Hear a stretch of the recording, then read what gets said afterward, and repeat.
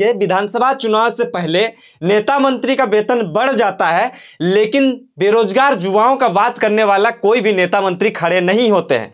हालाँकि मुख्यमंत्री साहब ने कुछ दिन पहले जो है इस विषय पर रखा है बात कि रोज़गार का सृजन किया जाएगा।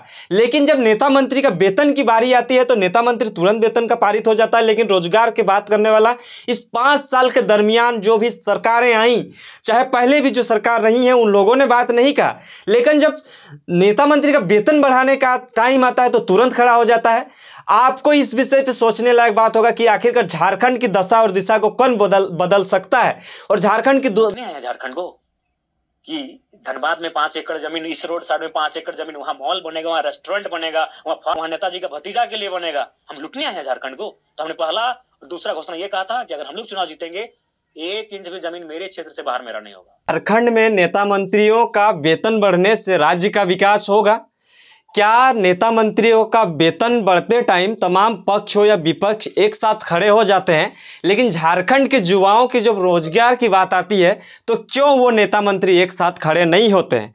और उस टाइम पक्ष विपक्ष को देखा जाता है, लेकिन जब वेतन बढ़ाने की होती है, उस टाइम सभी नेता मंत्री, चाहे विधायक किसी और दल के हो, चाहे किसी और दल के हो, जब वेतन बढ़ाने की जब जाए काम होता है तो उस टाइम सभी को एक साथ खड़े होते हैं।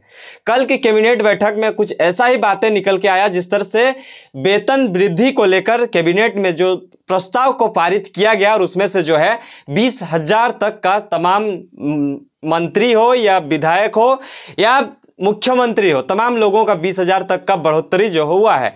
हालाँकि ये सब सारे मुद्दों को हम रखने से पहले एक विशेष सवाल पे रखने की कोशिश करते हैं।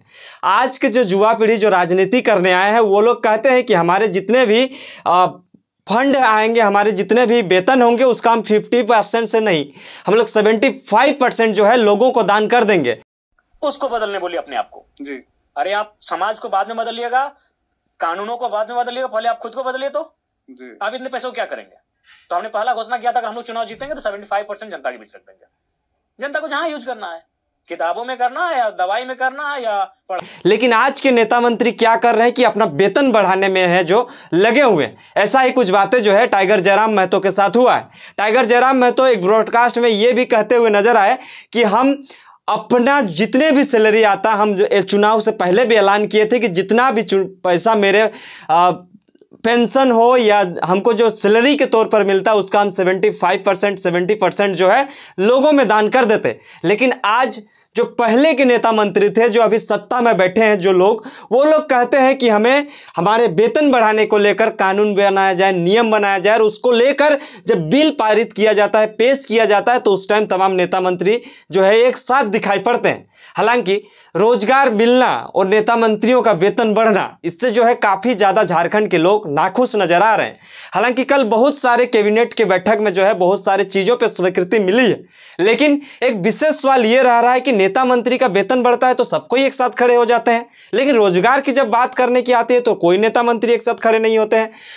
डेट पे डेट पला जाता है, उस टाइम पे कोई खड़ा नहीं होता है। पेपर कट के माध्यम से ये भी लिखा हुआ है कि सीएम से लेकर विधायक तक सभी के वेतन में बीस हज़ार तक की बढ़ोतरी हो गई है।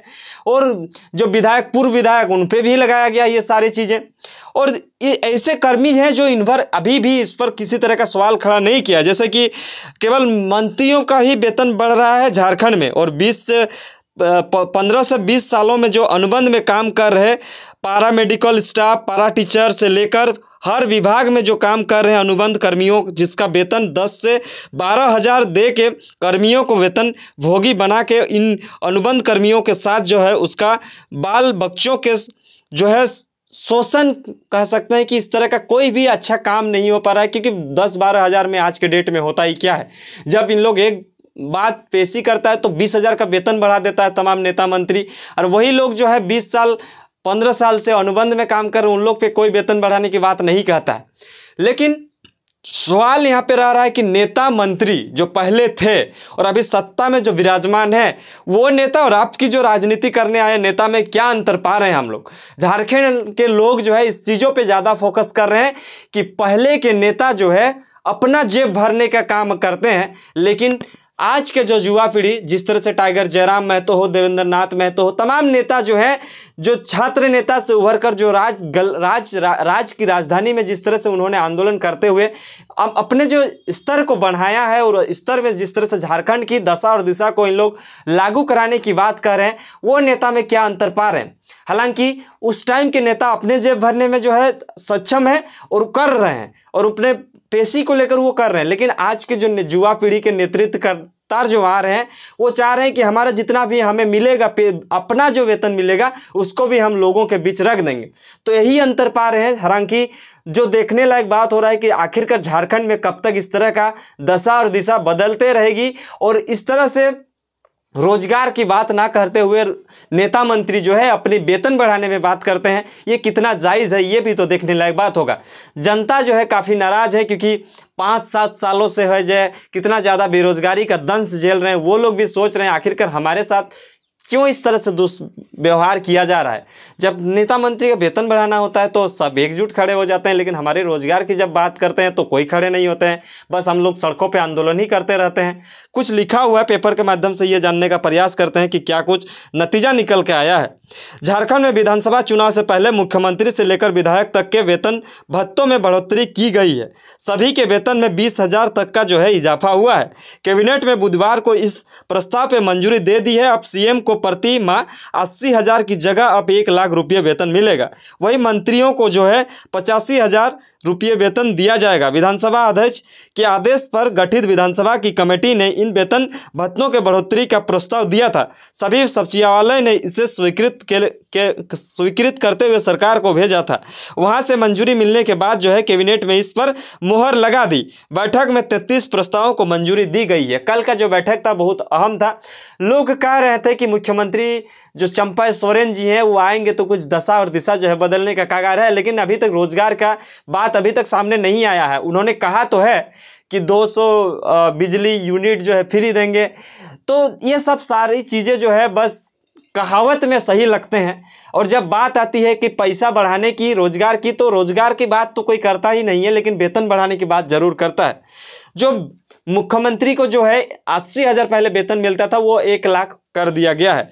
और जब वेतन बढ़ाने की होती है तो विधानसभा के अंदर भी टीम गठित किया जाता है। लेकिन रोज़गार के मुद्दों पर बात करने को लेकर जो है टीम गठित नहीं किया जाता है। न वो टीम कोई काम करता है, अगर गठित भी किया जाता है तो उस पर बात करने वाला कोई भी सक्षम लोग नहीं होते हैं। वो चाहते हैं कि हमारा वेतन ही बढ़े रोज़गार रोज़गार ना बढ़े। और रोज़गार के सृजन भी ना हो, हमारा वेतन ही बढ़े, हम वो काफ़ी हैं। हालाँकि कितना सच्चाई है, इस चीज़ों पर जानने लायक बात होगा। और जो चीज़ें हैं, विधायक से लेकर तमाम लोगों पर जो है, ये नियमावली जो है, सेट हो गया है और ये मंजूरी दे दी गई है। अब देखने लायक बात होगा, क्या कुछ नतीजा निकल के आता है। सारी चीज़ों को रखेंगे, बने रहें, देखते रहिए।